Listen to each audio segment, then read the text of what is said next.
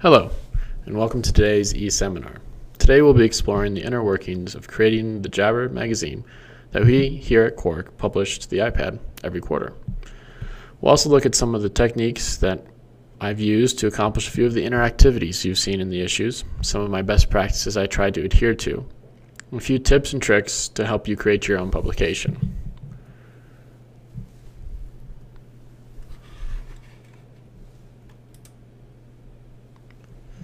So, my name is Chris Nuernberger, and I'm the Senior Graphic Designer here at Quark. I've been creating and publishing iPad apps and issues ever since Quark started developing QuarkXPress to do so. I've had the privilege to not only work on Jabber and a few other apps that we have published here at Quark, but I've also had the opportunity to work closely with many of our customers who also see the importance of delivering content and media to the iPad and other digital devices. So in, today's e-seminar, we're going to touch on four main points. First, we're going to start with where to start. It's important to have a good foundation. There are a few things to keep in mind, and I'll briefly highlight what I took into consideration when I was creating Jabber. After that, we'll talk about creating the magazine. In this section, we'll take a few minutes to go through how I created Jabber and then dive deeper into some more of the advanced interactive techniques that don't necessarily come prepackaged, but are possible by utilizing many of the interactive features that are available to you. After that, we'll uh, touch on some best practices. With digital publishing being such a new form of media for publishers and designers alike, I've developed some best practices that are very important to keep in the back of your mind while you're building your issue. I'll mention a few that I think are most important and show you how they were implemented within Jabber. And lastly, touch on a few tips and tricks. Having created quite a few of the issues for Quark and others, there are a few tips and tricks that I've picked up along the way that will help the, the experience of creating an issue more pleasant. I'll share a few uh, tips and then a few tricks and discuss how they will help you out in the long run. So, without further ado, where to start? As with every project, it helps to build a little bit of a foundation or starting point so that you're able to navigate your way through the creation process. When you start to create an issue, you want to be aware of your audience. Are you creating an issue for a younger generation? Are they technologically savvy? Or are you going to have to walk them through things a little bit more? Is this going to be geared towards the entertainment side of the spectrum, or is this a little bit more technical uh, as far as like a business prof- or professional business uh, issue. All these questions and countless more are important to take into consideration when you start to plan out how you are going to set up your layout and your issue. It's the same as creating any other design. You want to make sure that your message is on target for you and your readers. This is just as important in publishing to the iPad, and I demonstrated that here with how we've approached Jabber. Jabber is a quarterly digital publication targeted at designers and anyone else who's interested in how, and not only how we do it, but what is possible from QuarkXPress and also from digital publishing. From this, I decided that our most typical user would be someone slightly familiar with digital publishing, someone who's tech savvy. If they're reading it on an iPad, it's pretty much a no brainer. I mean, if they own an iPad, it's pretty much a no brainer. And if they don't own an iPad, they're probably not reading the issue because it's supposed to be read on an iPad. Um, but so I thought the age would vary. In most cases, our viewers would be probably above the age of 18. Um, but maybe they're younger, 16. I don't think many four year olds are interested in graphic design. So that's kind of where I started from, and that there were other many uh, that there are many other characteristics that I thought our viewers would consider represented them. But since I only have an hour, we'll kind of skip through uh, what the rest of those were. So, knowing this, I set the brand of Jabber to be very contemporary, modern, and fully utilize all the interactive features available to me within each issue, and to expand on those as uh, we worked our way through each issue and introduced uh, our readers to these interactive elements. Now, because digital issues are documents with chapters and have a structured flow of content, it's a very wise idea to create a dummy. Those of us who have done any sort of publication may recognize this diagram. Essentially, it's a way for you to keep all your content in one place and allows you to arrange pages, sections, articles, and even ads in one central location where you can easily move them around. The benefit here is that you can create you can use this dummy to make sure that your flow of to make sure the flow of your content makes sense.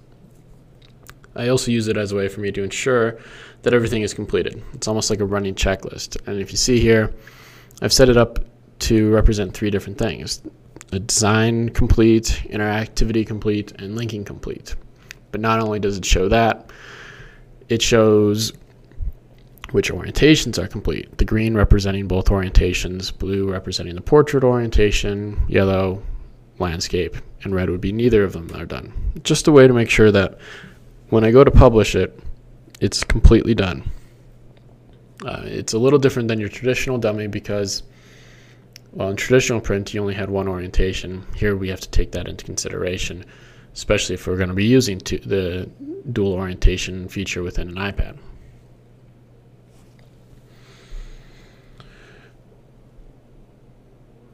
So, the important part of keeping a dummy is making sure that you keep it up to date.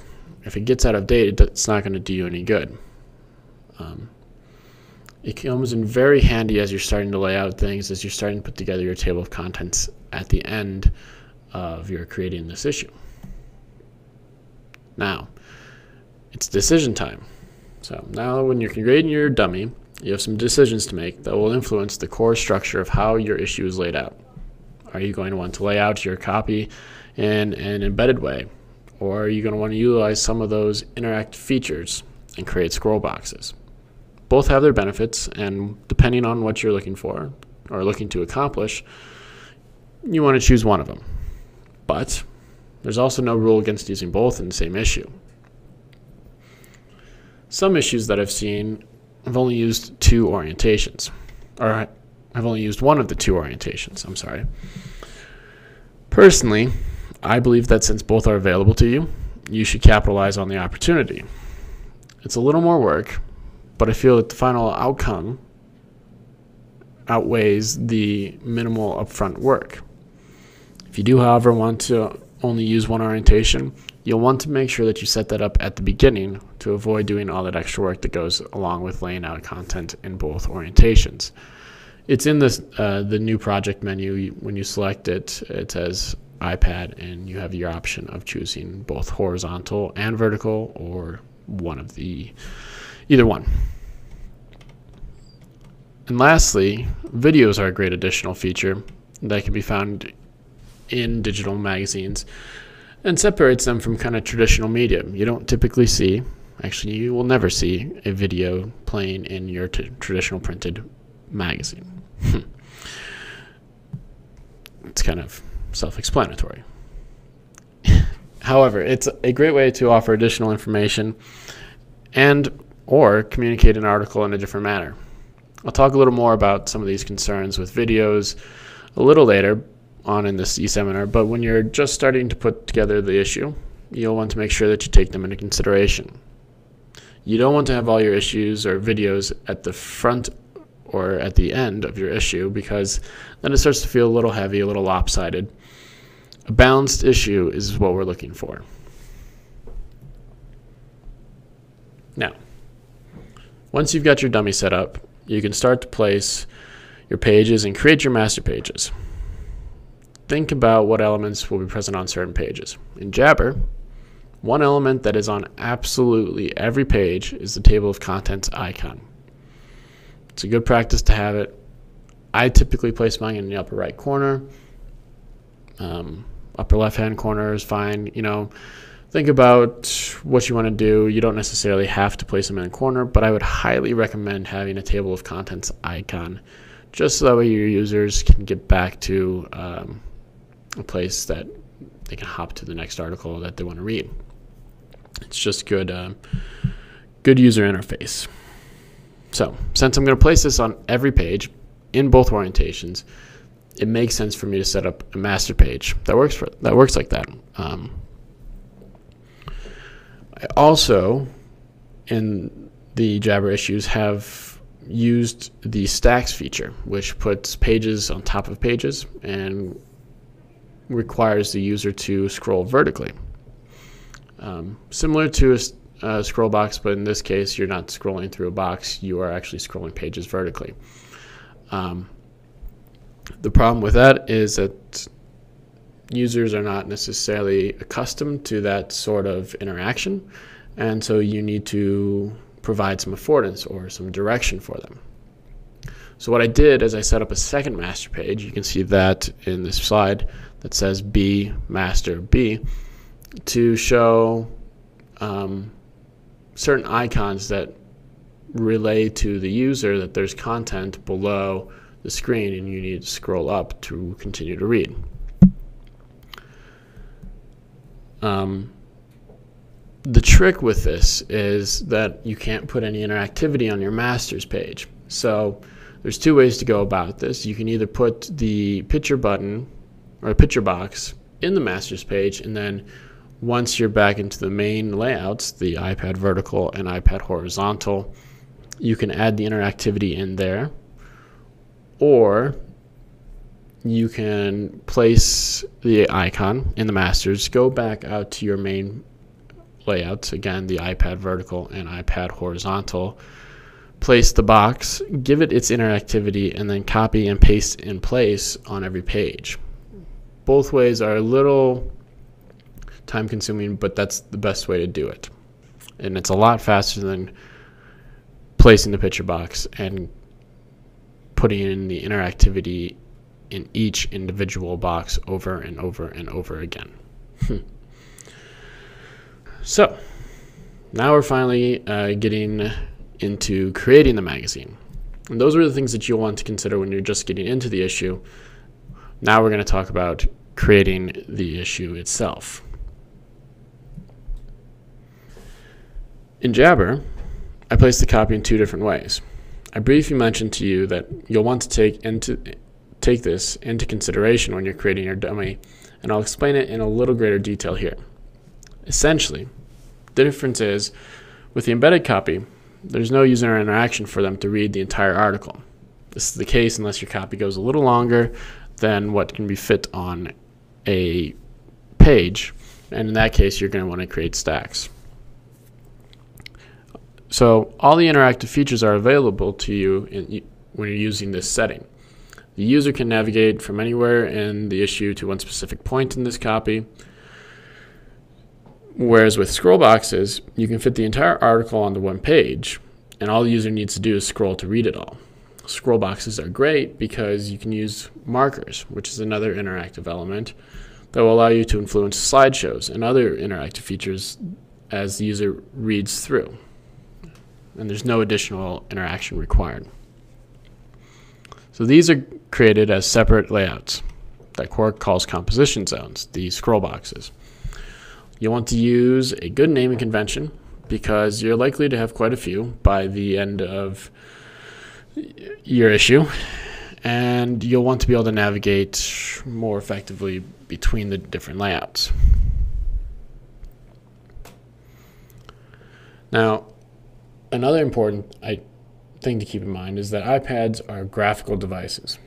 They almost beg to have color and texture, especially now with uh, the Retina dis- displays. One of the easiest ways to accomplish this is by using imagery and graphical elements in everything. Use large photographs to fill the entire screen, and then section off a certain space for your copy. If you have a decent amount of copy, you could always use a scroll box to squeeze more into smaller spaces. Uh, I did that here with the the page you see here. Uh, that box is a scroll box where the text is, and there's quite a bit of copy.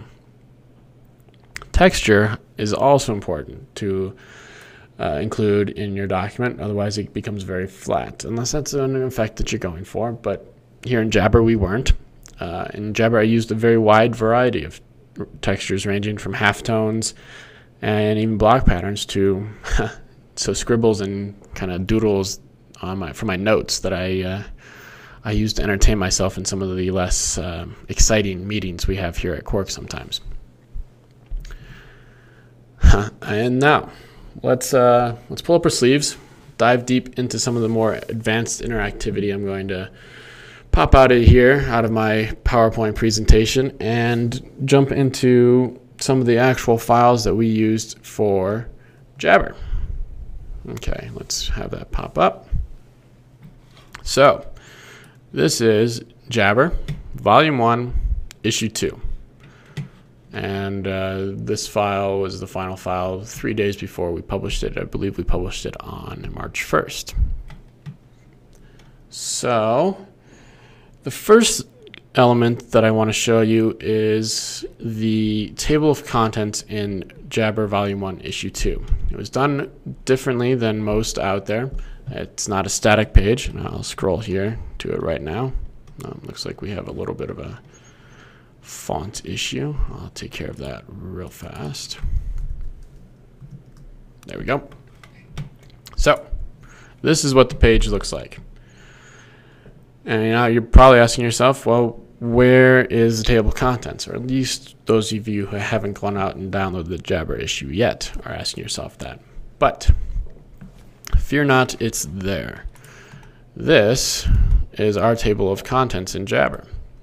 It's a scroll box, and I've used it to visually depict the different pages. And it, I mean, it goes for a little bit of while, a little while. Um, I've shared it on both orientations. So I only had to create it once. Um, and uh, so let me show you how, real quick how I've set this up because I'm sure you're all dying to know. Um, first, we need to grab the picture box and we want to create a window as wide as the viewable space that we're going to have, which is um, from here to here, down to about here, and all the way over. Uh, let me show you. You can kind of see it. It's right there. It's the blue outline among many other blue outlines, but that is it, right? So first, create a box. And I'm not going to walk us through the actual full process because it took me a little while to do it, but we'll kind of jump a few steps. Drew a box. It's picture box. Then we go to our little trusty App Studio dialog palette thing. Let it come up. It says we have one assigned unassigned item. We're going to create a scroll box, right? And we want it to be horizontal since it's going to scroll horizontally off the screen. And here we'd click create layout. Now, we want to make sure that we name it something. Uh, in Jabber, I always name it TOC, obviously. Um, and I wouldn't adjust the width just yet because we're not quite sure exactly how wide it's going to need to be. All right, so let's pretend that I clicked create. I'm going to actually take you to the, get rid of that extraneous box. I'm going to take you to the actual table of contents. So see what I mean when I said that you're going to have lots of different layouts by the time you finish your issue? This is actually less. than the first issue. I started to realize that you can share your issues or share your layouts across the different orientations, and that helps to reduce the amount of issues or layouts you have. Anyway, back to table of contents. Click here. Let's zoom out a little bit so you can kind of see what it looks like in its entirety. Right? And so as I was creating this, I kept on needing to expand it to the left or to the right more and more um, and that's a really easy way, easy to do. You just go into the, your layout properties. Uh, you can do that either going through here, right, layout properties, or the key command is Apple Option Shift P, right? And you just keep on increasing, increasing the width. Now, do not increase the height on vertic on horizontal scroll boxes and do not increase the width on vertical scroll boxes. It just gets complicated. Um, if you're going to want something to be a certain height or width, depending on the orientation, um, try to make sure to take that into consideration when you're drawing your first box on your main page. So this is the table of contents. Now, you're wondering, maybe you're wondering, how did you share this across the two different orientations? If your buttons link, notice the red boxes, those are button action items or interactive boxes. If they link to one page, how can you link them to one page in both orientations? Because technically, they're two different layouts. Well, good question. The trick here is you need to give it two different actions. Now, you'll see that it says 129, 229. One means it's going to the portrait orientation. Two means that it's going to the horizontal. So when you're viewing it in the horizontal orientation, it will take you to that page. It's a very important thing to keep in mind. Now what we've done, however, is if you have something wrong, either you don't have that page in existence or you forgot to include the the initial differentiator, the box will go red. Kind of a nifty little double check for all of us designers out there as we're trying to rapidly move through the process of creating these. Um, another really cool feature that I'd like to show you while we're in the second issue is the Twitter feed that we've incorporated in or embedded into our issue. And that's found, keep coming, keep coming, keep coming, right here. Uh, like I said, for those of you that have downloaded the issue and kind of explored it, maybe you've noticed, but as you read through this copy or this article, the very end is a live Twitter, and it will always be the most recent tweet that our friend Stacy Baird, the author of this article, posts to her Twitter account. Um, I'm not going to go through the technical process of how we did that because actually, in our section of how we do how do we do that, I walk you through step by step in about five steps how we actually created that. But I really wanted to point this out because this also is a great example of markers. Uh, we'll go uh, to the seven tips box. And as you can see, if I turn on my guides, whoops, haha, wrong button. Turn on my guides. You can see we have a red box. Now I typically try to put all my interactive elements on a different layer um, so that way I can kind of keep them separate and uh, keep things organized. But so a marker works very simply. Um, you need a content ID, and the content ID is found in the upper right corner. So if we're going to influence a slideshow with a marker, we need the content ID of that slideshow. And in this case, it's 102093. And your content index is what slide in that slideshow you'd like to be shown when this box enters into the viewable plane. Or viewable window, I guess is a better way to say it. And as you can see, this one now says 2, and so on and so forth all the way through. Now, I'll scroll real quick over to show you what the box for the Twitter thing looks like. Essentially, it's just a standard picture box um, we have it going to a local HTML file that gets embedded into this scroll box. I'm allowing interaction and scrollability, and um, that's pretty much it. Like I said, for even more detail, uh, we don't have quite a bit enough time in today's e-seminar to go through uh, the whole process, but it is in Jabber issue 2 uh, how to accomplish that. Um, let's see, we'll go into the first issue now and kind of show you a few things here. This is Jabber issue 1.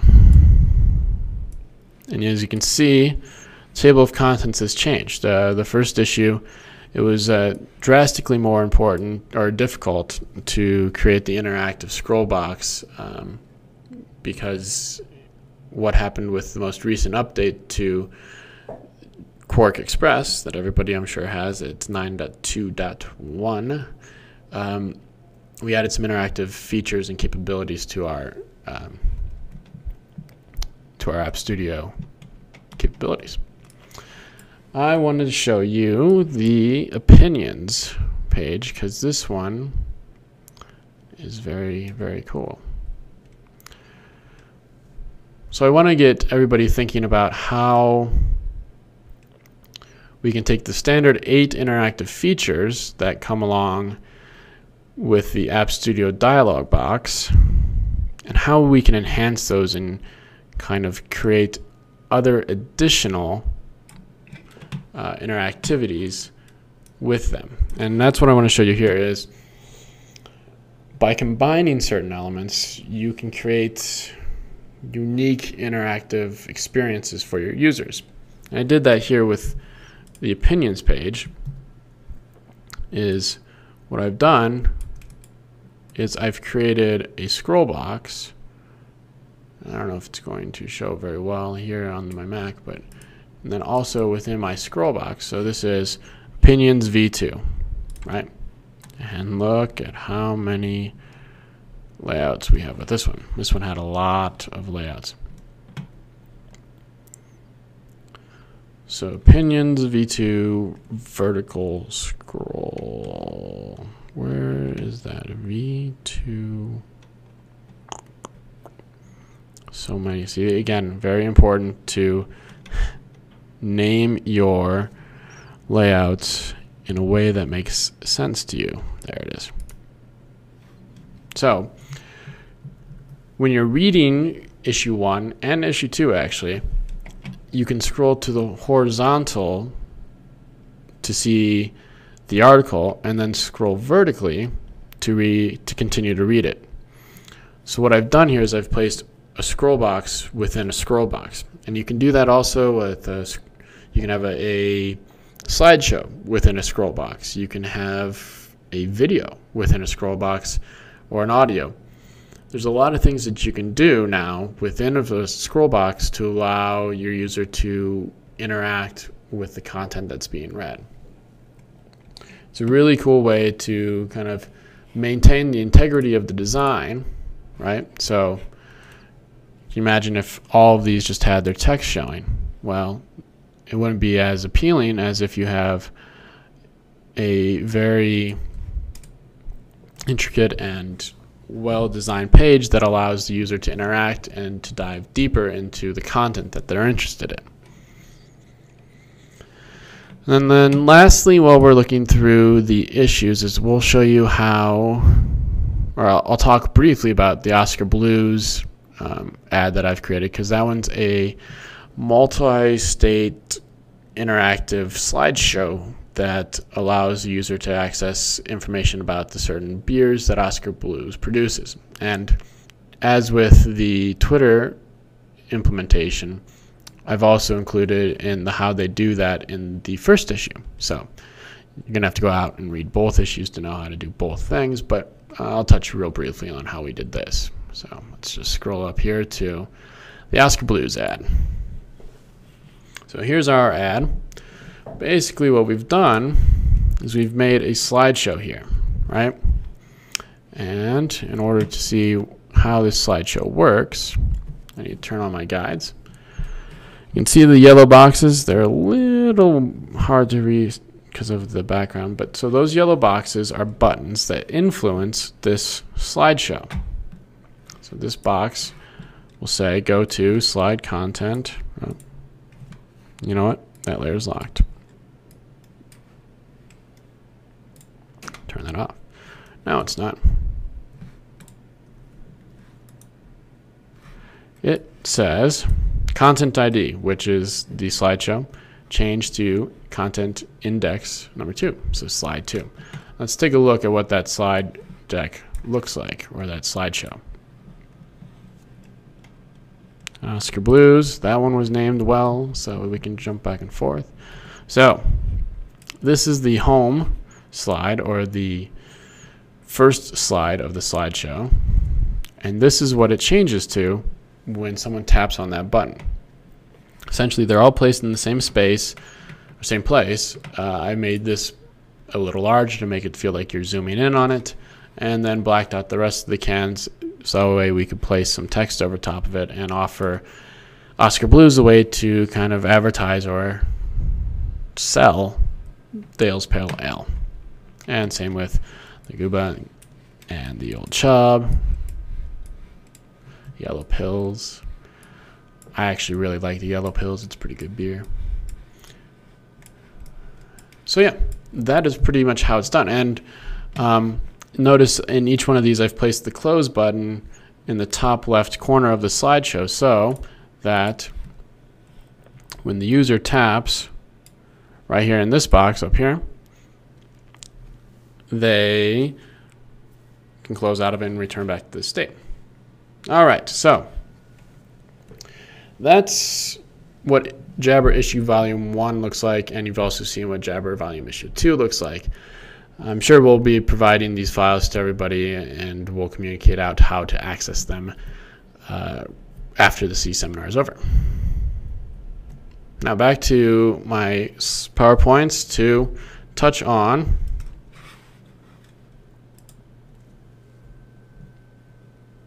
some of our best practices. So affordance is by far the most important element that needs to be present in your issue. Affordance is not a word most people use in their daily conversation, so I'll kind of explain what I mean by that.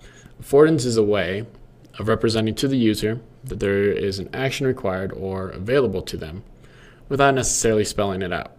It instructs the user how to use whatever they're interacting with. Good affordance instructs the user so so well that it's natural and it's instinctive to them. It exists everywhere. We just don't notice it usually. Like the push on a push door, right?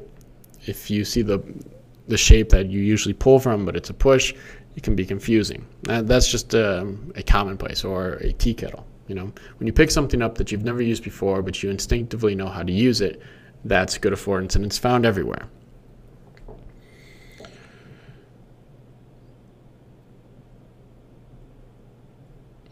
So, for instance, in Jabber, let's say you have content on a page below the current page that you're on. We've talked about this a little bit earlier, but um, this again is a representation of that.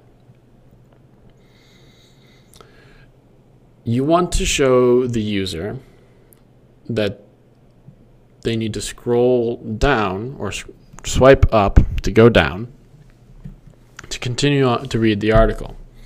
But you don't want to say now these are air quotes, you can't see them, but swipe in an upwards direction to continue reading the article, end quotes.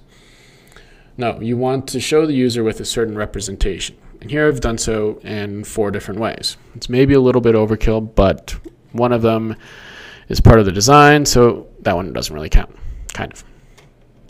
So here we have the four dots on the far left that let the user know that there are four pages in this article. And since they're on top of each other, they're likely also going to think that they are stacked on top of each other, which they are, hence the name stacked. I've also used the word start with a dashed line leading off the page to indicate that there's more to come and that exists below the page. I mentioned earlier that when I'm speaking about masters, when I was speaking about master's page, that I if I ever have content below the con- the current page, I would use master B. Well, here is the icon that I mentioned that represents that there is content below, and I use that consistently. And consistency is also a very important thing to use when you trying to establish affordance to or representation of an icon. Uh, and then lastly, on the far right, there's this little arrow and a circle. That is standard when you're using stacks, and QuarkXPress will actually place that upon output into your issue. Now, another thing to keep in mind uh, that I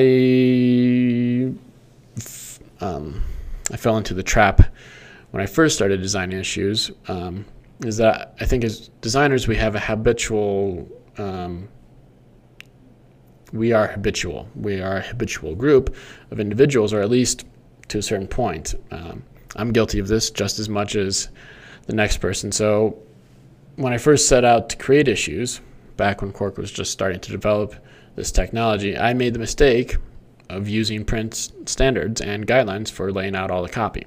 It made sense to me because we were working in a traditional print layout software and aren't issues basically just printed documents thrown up into the iPad in a digital form, meaning RGB, 72 DPI, etc., etc. Well, that's what I thought thought when I first started, and I was actually very, very wrong. Um, they vary greatly from traditional print media. The issues do. I mean, you still use the same tools and lay them out in the same way, but the best practices are different. So, here at Quark, we typically set up our body copy in all in all of our printed collateral to be 8 over 12. So out of habit, I did just that, and for my first attempt at creating an issue, I quickly realized that this is not going to work. So when I exported it, I looked at it on my iPad, and I was literally le- reading legal copy. It was that small. I nearly had to break out of my break out my magnifying glass actually so, uh, after a long time of trial and error, I finally came to the conclusion that the optimum size for a copy in the iPad is about 200% what you would normally do for traditional print media. Um, so, by that I mean what was 8 point for us in print now became 16 point and seemed to be the size that I was initially intending it to be once viewed on the iPad. And I had to also adjust the current or the leading as well and leading went to be 24.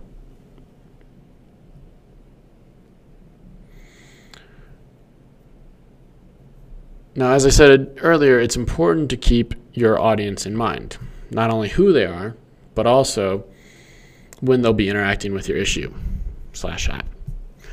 Um, I started to think about this as I was creating Jabber uh, and thought, when are people going to hopefully be reading this?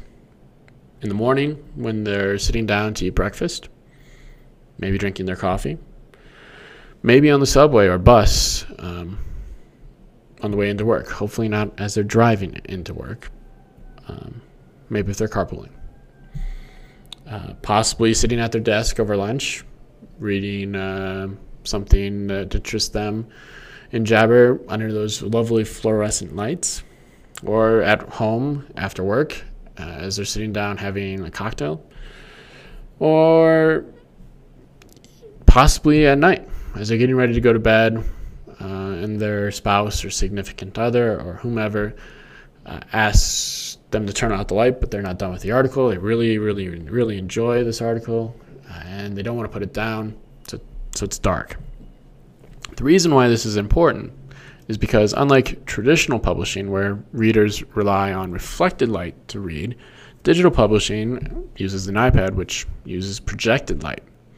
And where this becomes the biggest problem is when the lighting is very low. I don't know about you, but myself personally, I have a habit of checking my phone before I go to bed. I have an iPhone, and uh, it can be extremely bright, blindingly so. And so I thought that this would be a problem. I have a hard time getting through an email with it being so bright. I can't imagine someone sitting down and trying to read through an article when it's so bright. And instead of having the user exit the art, exit the issue, exit the app, open up system preferences, find the brightness controls, turn down the brightness, exit back out of system preferences, find your app, open that back up, get back into the issue, and find its place again where they're reading, I thought there has to be a better way to do this. And so this is why I've done the night versus day, uh, two different orientations with the reverse. Um, in this case here on the slide, I'm showing you that it doesn't necessarily have to be the same copy. You can utilize this to to demonstrate to the user that they're, they're viewing different copy, but you can also use it to facilitate them when reading articles, um, possibly at night.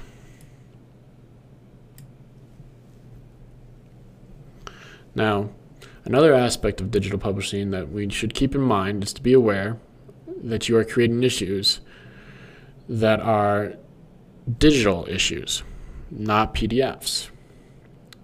We've been able to open PDFs, PDFs on our mobile devices for a long time now. What makes this different is the interactive portion of each of your issues you produce. Simply placing some text, like what what's in a white paper, giving it very little graphical treatment, dropping an occasional video, and then pushing it to the iPad doesn't necessarily make it a digital publication. This may sound slightly harsh, but I consider them glorified PDFs. Digital publications are meant to be interacted with, experienced. It is supposed to enhance the user experience, not necessarily cheapen it. And if there's a hyperlink, it's a link. Remember that not everyone will have internet connectivity at all times, but it's a link and you should link it out to the web. Just a good best practice. And lastly, but definitely not least, something that's very important to keep in mind since this is a digital file, and essentially, and in almost every case, the user will be downloading this from their iPod, either over a wireless connection or 3 4G. Keep the file size down. Currently, Jabber is approximately 120 megabytes. Not too bad. It's a little large, but some of the other issues of magazines that, are out there that I've downloaded are over or as large as 500 megabytes.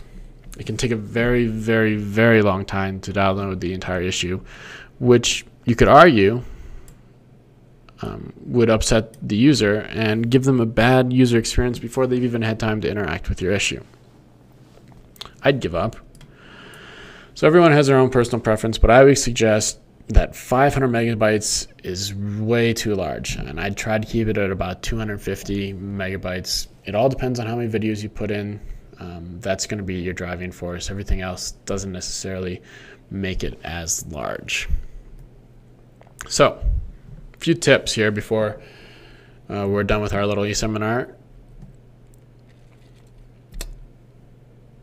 To expedite the layout process of creating your issues, share your content. Not only create your interactive layouts, like your scroll boxes and everything, to be the same um, size, and so that way you could share them across the two different orientations, but also your content. Here uh, within QuarkXPress, we have the shared content palette.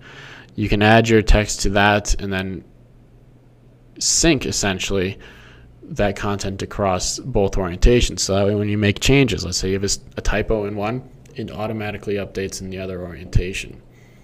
the trick, if you're going to do the white on black and the black on white uh, kind of technique, you'll want to make sure that you don't share the attributes, just the content, and you'll have a little dialog box that will pop up when you have the uh, when you go to share your content. Next, or last, um, I mentioned this earlier, but you want to save the table of contents and linking to the very end of creating your issue.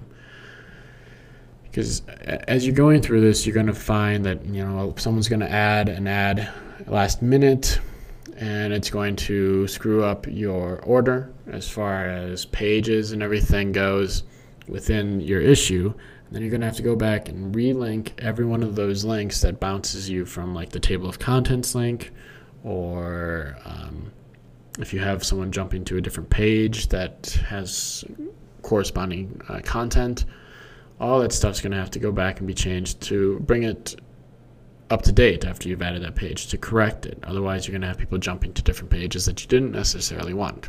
So i would highly recommend saving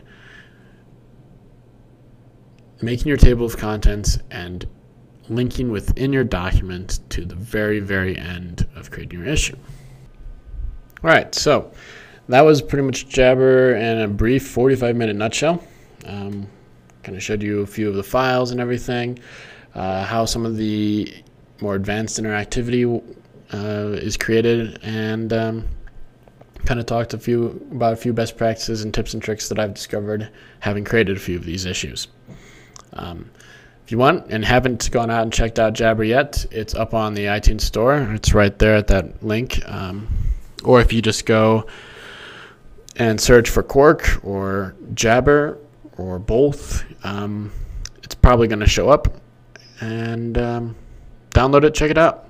Uh, I think we've done a really great job of demonstrating QuarkXPress's capabilities within App Studio and the interactive um, digital publishing. Thank you very much. And if you have any questions, I'm going to ha- have my uh, email address up here in the next slide. Feel free to shoot me an email at any time. I'll try to get back to you as soon as possible. And with that, thank you very, very much.